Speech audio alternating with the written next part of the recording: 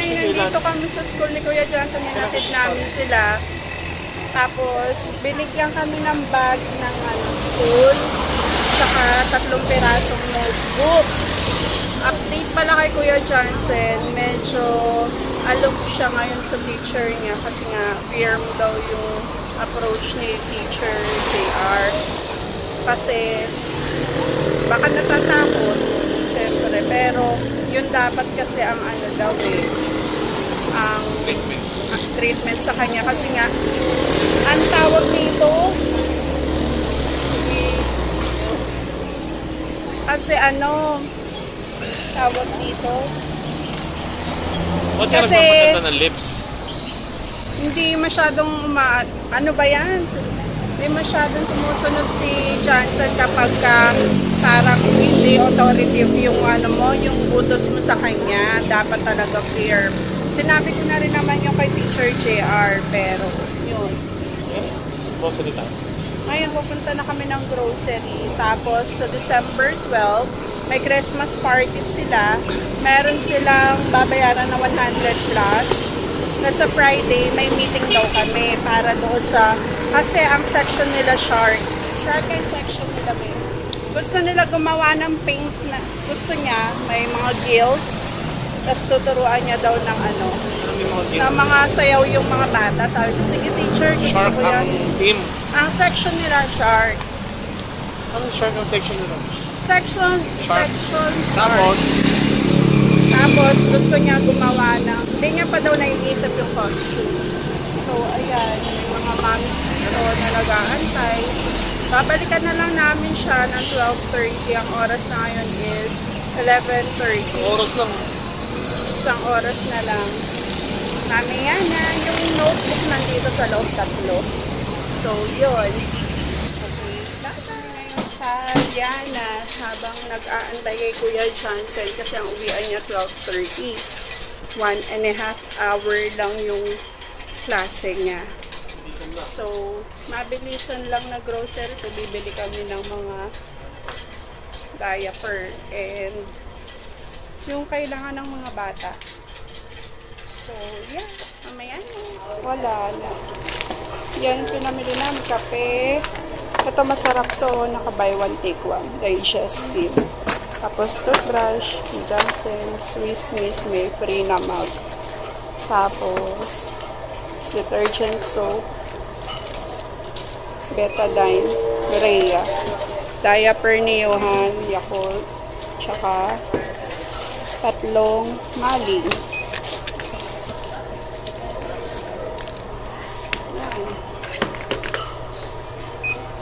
Okay, mamaya na. Yan yung bill namin, 1239.4 para doon sa pinag-grocery namin.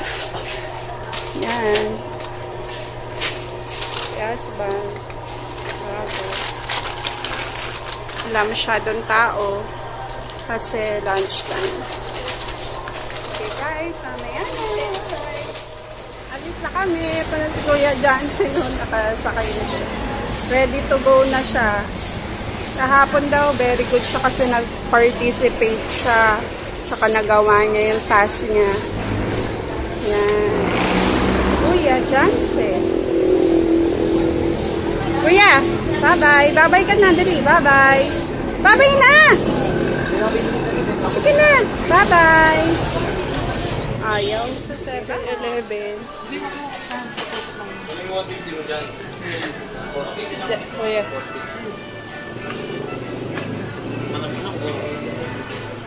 Oh, yan.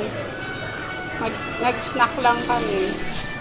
Pero sa umpisa lang to kasi sa susunod wala na kami pang-snack. Okay, mamaya. Hi guys! Ito y- Uy! Huwag ka dyan! Magigising ako kapatid mo. Ito yung notebook na binigay sa ano, Pasig Free. Bali, tatlong piraso to plus yung bag. Ito yung bag.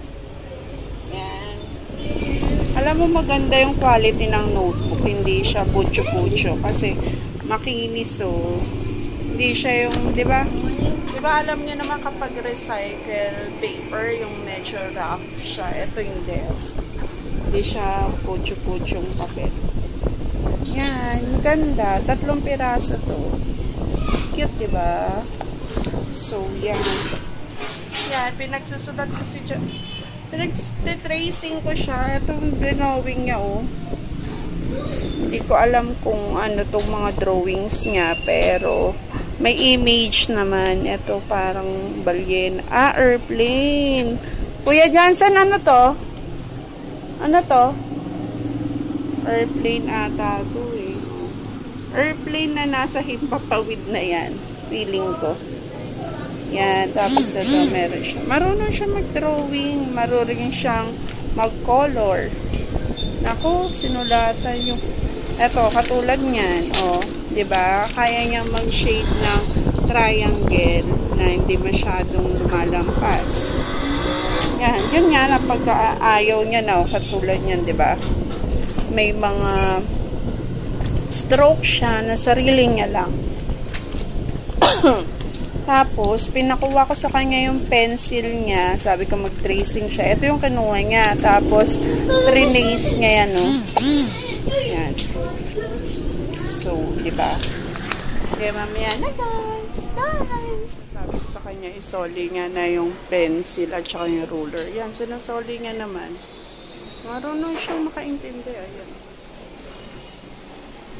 Mas matalino ko kaya yan. Marunong siya mag-ayos ng mga gamit niya. Marunong siya mag-ayos ng gamit niya. Marunong rin siyang kumuha.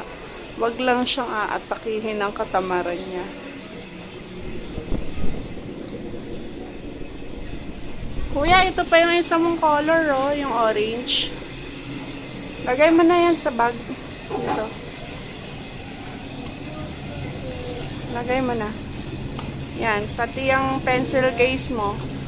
Pati yung pencil case mo, lagay mo na. O, i-close. Sarado mo. Close mo na. Tapos, sabit mo na doon. Nako, ginawa na nila naman nilang ano to. Sige na, sabit mo na doon.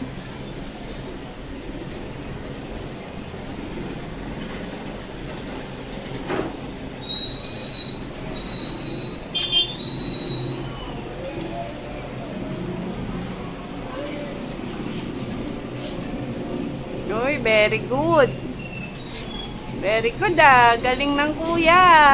Oh, hawak ka. Baka mahulog ka. Hawak, hawak. Okay, mamaya na guys. Bye! Eh, tinitingnan siya eh. Yung tinago ko yung pinagkakaabalahan niyang soap eh. Sige, bye-bye!